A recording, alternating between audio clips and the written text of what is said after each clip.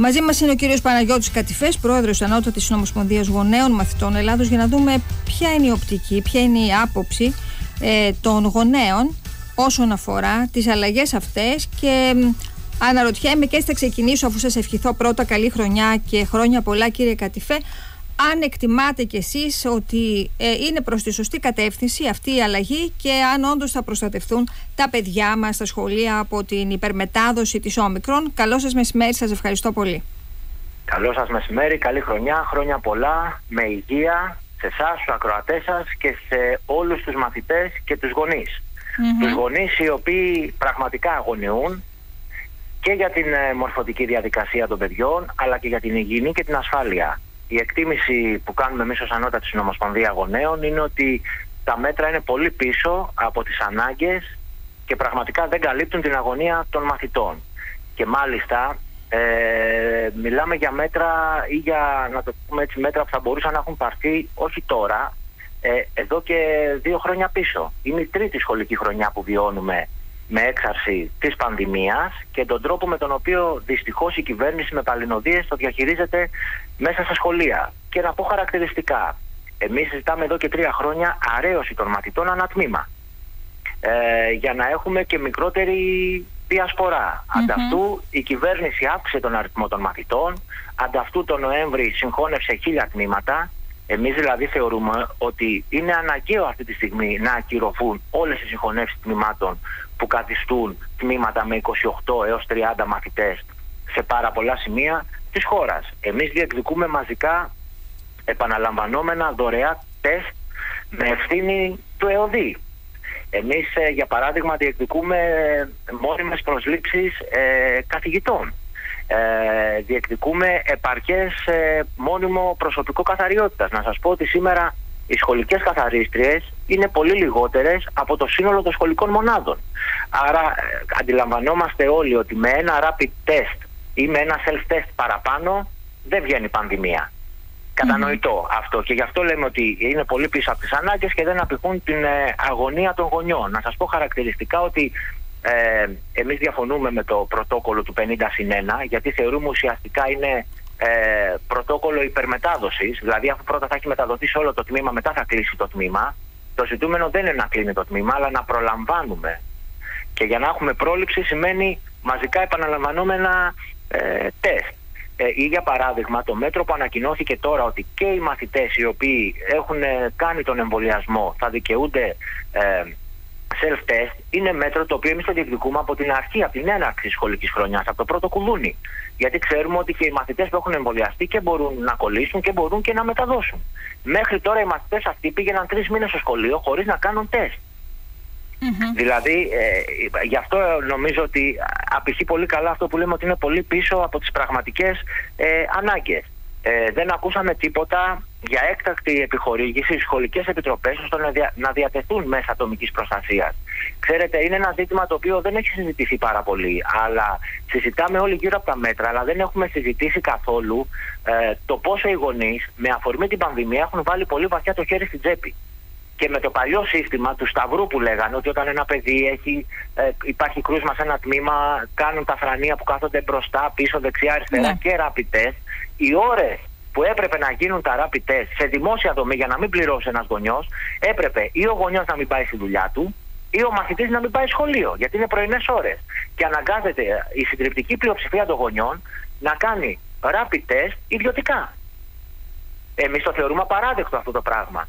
Δηλαδή είναι ευθύνη του κράτους να προστατεύσει την ασφάλεια, την υγεία αλλά και τη μορφωτική διαδικασία των παιδιών που πραγματικά ε, με δύο χρόνια τα σχολεία να ανοιγοκλίνουν έχουν διαμορφωθεί τεράστια και μορφωτικά και ψυχοκοινωνικά κενά. Σε αυτό θέλω να σας πάω κύριε Κατηφέ επειδή είχε συζητηθεί βεβαίως προς το παρόν ε, αυτό δεν θα γίνει ήταν κατηγορηματική τουλάχιστον η κυβέρνηση ως προς το άνοιγμα των σχολείων στις 10 του μηνός ε, εσείς Θέλετε να παραμείνουν τα σχολεία ανοιχτά; Εκτιμάτε ότι μια εβδομάδα αυτό που είχε, που είχε συζητηθεί στη δημόσια σφαίρα ότι έπρεπε ίσως να πάμε μια εβδομάδα αργότερα στα σχολεία να δούμε την εξέλιξη της όμικρον θα ήταν μια λύση; Ποια είναι η στάση της, ε, ομοσπονδία, της Συνομοσπονδίας; Κοιτάτε, εμείς εδώ και τρία χρόνια λέμε ότι δεν πρέπει ούτε μια ώρα να κλείνουν τα σχολεία.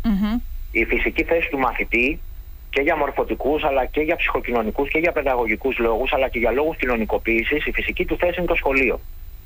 Στο σχολείο όμως που θα καλύπτει πλήρως την ασφάλεια και την υγεία. Γι' αυτό κιόλας εμείς διεκδικούμε ουσιαστικά μέτρα για ανοιχτά σχολεία. Κάτι για το οποίο, αν το θέλετε, ας με επιτραπεί εκφράση, κοφεύει εδώ και τρία χρόνια η κυβέρνηση. Και είναι χαρακτηριστικό ότι ο Υπουργός Παιδείας δεν έχει δεχθεί εδώ και ε, δύο σχολικές χρονιές να συναντήσει την ανώτατη συνομοσπονδία γονέων.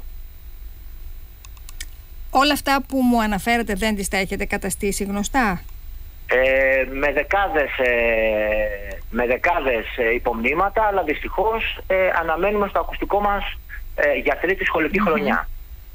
Κύριε Κατηφέ, εκτιμάτε ότι τέτοιες αποφάσεις που αφορούν τη σχολική κοινότητα πρέπει να λαμβάνονται μετά από διαβούλευση; Ε, αναφέρομαι στη, στο επιστημονικό κομμάτι έτσι, της όλης διαδικασίας. Κάποιοι επιστήμονες κρίνουν, ορίζουν κλπ. Προτείνουν και η κυβέρνηση απαντά σε αυτό. Θέλω να πω ότι εδώ έχουμε και μια, είναι πολιτικές οι αποφάσεις. Παρ' όλα αυτά θεωρείτε ότι πρέπει να γίνεται διαβούλευση; Εμείς θεωρούμε ότι σε ό,τι έχει να κάνει ειδικά με τη λειτουργία και των ε, σχολείων ε, και οι ίδιοι εκπαιδευτικοί μέσα από τις ομοσπονδίες τους, την ΟΛΜΕ, τη ΔΟΕ, αλλά και εμείς οι γονείς μέσα από την ανώτατη συνομοσπονδία που είμαστε, αν το θέλετε, αυτοί που ζούμε στην καθημερινότητα το σχολείο, ε, θα πρέπει πραγματικά να έχουμε λόγο. Και ξέρετε, ε, είναι όμως ακριβώς αυτό που είπατε, είναι θέμα πολιτικής βούλησης. Είναι θέμα πολιτικής βούλησης. Όταν βλέπουμε ότι ε, συνεχώς μειώνεται η χρηματοδότηση προς τα σχολεία ή έρχονται νόμοι οι οποίοι εμπορευματοποιούν ακόμα περισσότερο τη λειτουργία του σχολείου, ε, ξέρετε καμιά φορά και η διαβούλευση είναι κενό γράμμα. Αλλά εμείς θεωρούμε ότι διαβούλευση, γιατί κοιτάτε, συζητάμε για διαβούλευση, να σας πω πολύ χαρακτηριστικά, ότι με βάση και το θεσμικό μας ρόλο η ανώτατη συνομοσπονδία θα έπρεπε να είναι στην Επιτροπή Μορφωτικών Υποθέσεων όταν συζητούνται νομοσχέδια. Έχουν περάσει σε συνθήκες πανδημίας με κλειστά σχολεία τρία νομοσχέδια που έχουν αλλάξει προς το χειρότερο τους μορφωτικούς όρους των παιδιών και με, με αφορμή την πανδημία δεν καλεστήκαμε καν στο Κοινοβούλιο να καταθέσουμε τις απόψεις μας. Άρα, γιατί διαβούλευση μιλάμε.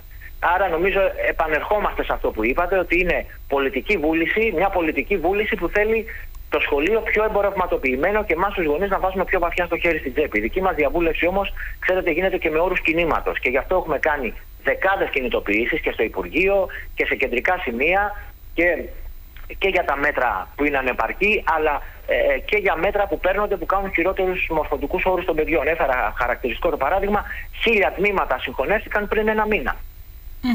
Κύριε Κατηφέ, εκτιμάτε με βάση αυτό που μου είπατε πριν από λίγο ότι εσείς ζείτε την καθημερινότητα των παιδιών και της ε, σχολικής τάξης και της διαδικασίας όλης εκτιμάτε ότι δεν θα αποδώσει ε, αυτή η αλλαγή του πρωτοκόλου δηλαδή ότι θα έχουμε εξάπλωση του ιού στη σχολική κοινότητα; Εκτιμώ ότι είναι αντικειμενικό να έχουμε και μάλιστα δεν το εκτιμάμε εμείς. Αν παρακολουθήσει κάποιος ε, τη συνέντευξη τύπου που έδωσε χθες η Υπουργός Παιδείας μαζί με τον Υπουργό Υγείας, είπε ότι αναμένουμε ε, πάρα πολλά κρούσματα μέσα στα σχολεία.